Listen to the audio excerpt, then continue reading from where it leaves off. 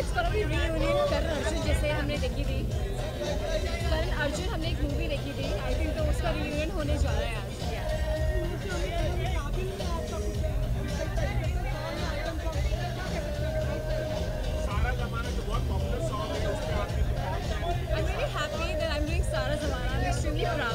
because uh, Amitabh Bachchan, one of my most favorite and legendary actor, was part of it. And to be get into his shoes was come true, of course. And the fact that Hrithik Roshan, he himself uh, selected me for this song, I think it's a big deal, a huge deal for any young girl. Um, I'm, I'm really big fan of his dancing. I completely admire